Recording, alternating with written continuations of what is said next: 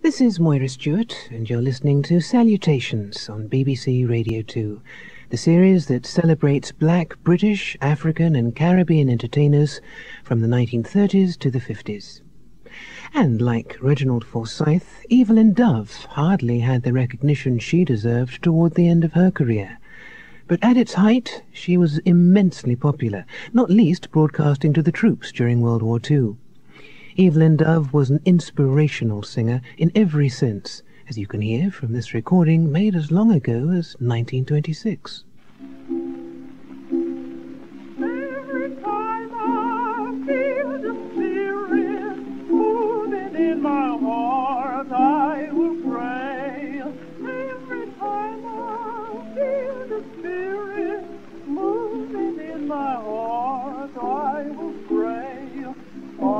On the mountain, my Lord spoke. Out his mouth came a fire and smoke. In the valley, on my knees, ask my Lord, have mercy, please. Every time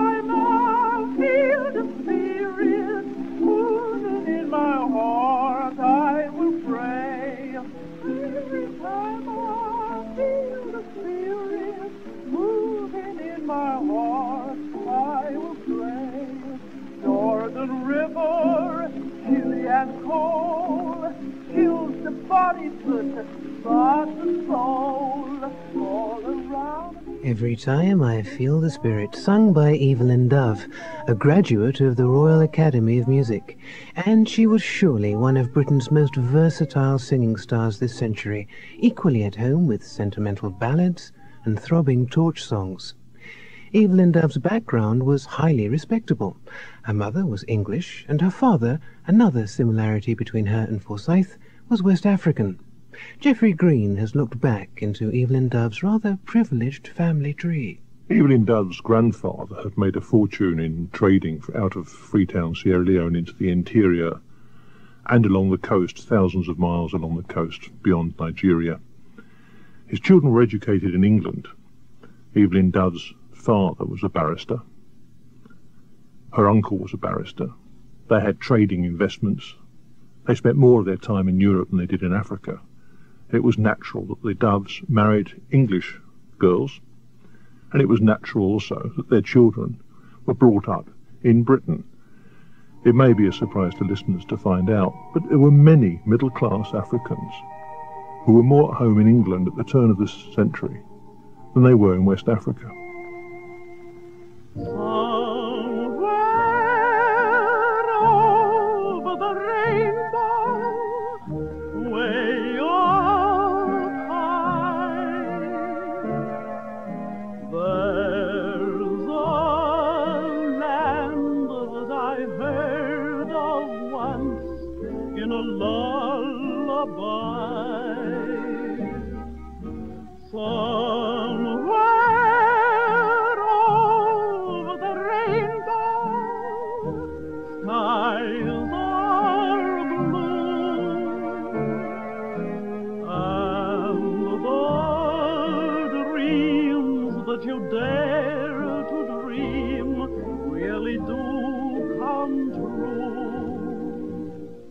Evelyn Dove had a brother, Frank, who went on to Oxford University.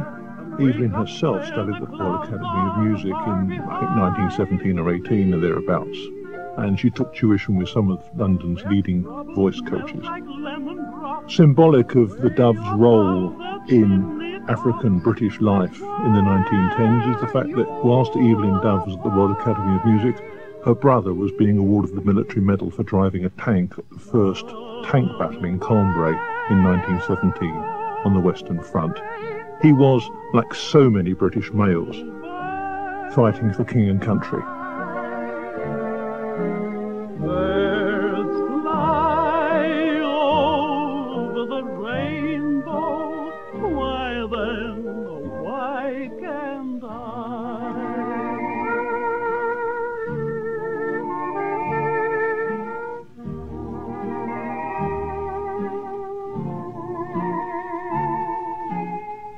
She was an extremely beautiful woman, Now, everybody, almost everybody knows of Josephine Baker.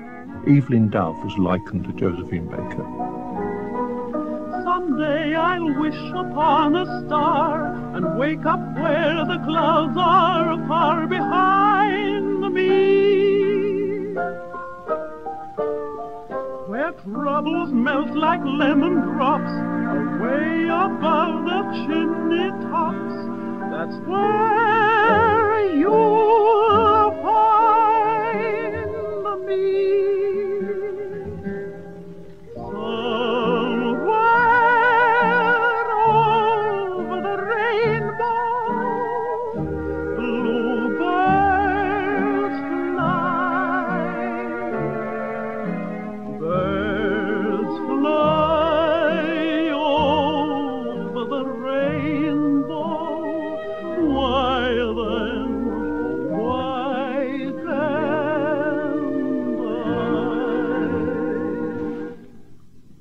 black singer of Evelyn Dove's generation, the world of jazz was far more welcoming than the concert hall that she had trained for.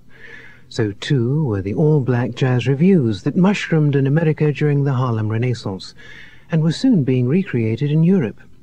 One such was Chocolate Kiddies in 1925, and its star was Adelaide Hall. She was a really lovely girl and uh, very, very smart looking girl.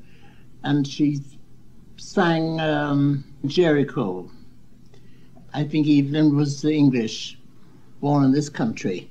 And she joined, uh, joined up with our company.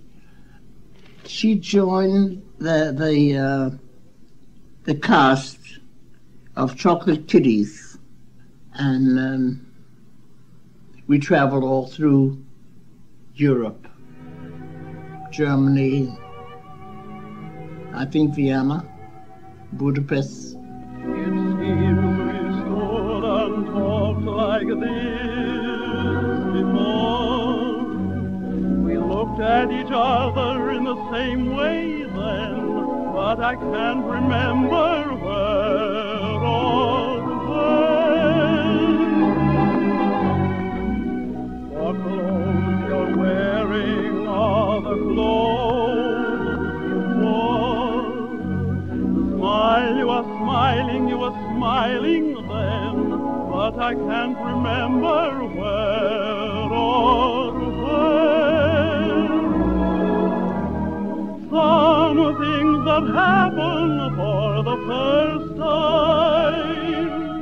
I remember Evelyn sang well and looked good, looked very good.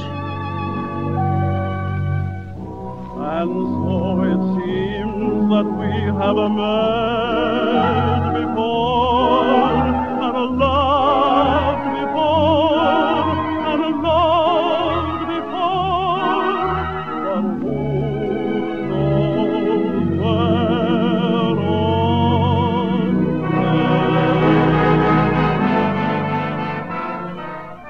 Chocolate Kiddies toured Western Europe for a year, then headed east. And in the audience one night in Moscow, Evelyn Dove and Adelaide Hall were being watched by a perhaps unlikely jazz freak, one Joseph Stalin. Back in Britain, Harlem-type revue remained for a while the mainstay of Dove's career.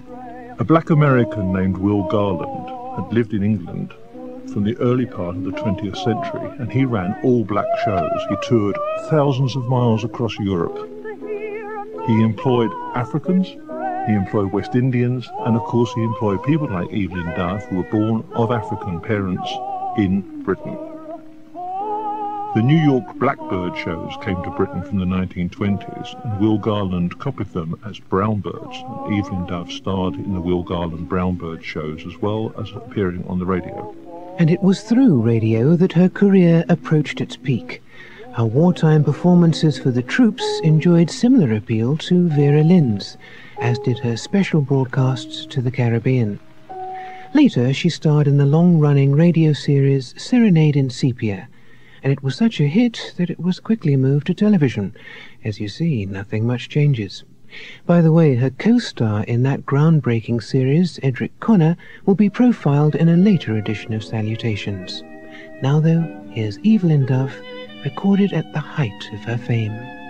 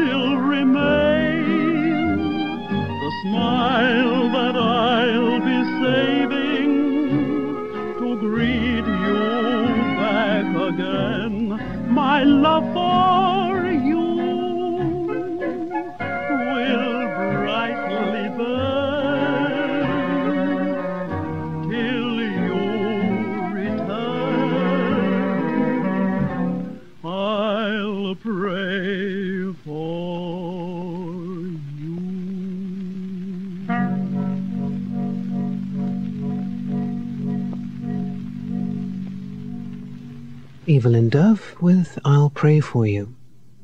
By the 1950s, engagements were few and far between. So drastic was the decline that the BBC was asked to provide a reference when she applied for work as a telephone operator.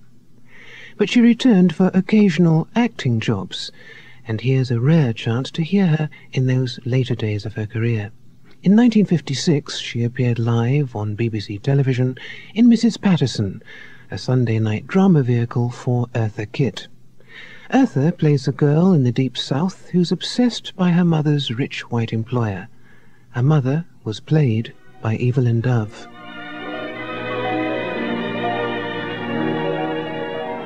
I bet Miss Patterson was dressed fine. She was. I'll never forget that hat and that lavender dress. Lord, it was something to gaze upon. Was caught up at the side with a black velvet bow this big, and it had over a hundred buttons running down the back. Anybody button her in should have no other job this day. What did they talk about? All about their travels and who they know. Just small talk. But didn't they play cards or nothing? Just talk? They played whist again, and Mrs. Patterson was really winning. The Embry girls got a little bit suspicious when they saw an ace laying on the lawn by Mrs. Patterson's foot. And to tell the truth, it looked a little peculiar to me. I always think of Mrs. Patterson like a plump, squeezy sachet, sitting there all. The once renowned singing star who'd sung before Stalin with Adelaide Hall in what was clearly now a supporting role. Evelyn Dove became ill in the 1960s and was admitted to a nursing home. She died in 1987 at the age of 85. But however unhappy the end of her life, and however few the recordings she left behind, it's still impossible not to be inspired by her voice. In the third edition of Salutations, the jazz musicians who inspired the nation in wartime. Remember Leslie Thompson, Jiver Hutchinson, and the Ken Snakehips Johnson Band? Hope you'll join me, Moira Stuart, to hear them all next week. Salutations is compiled and researched by Stephen Bourne, written and produced by Jim Hiley, and is a Ladbroke radio production for BBC Radio 2.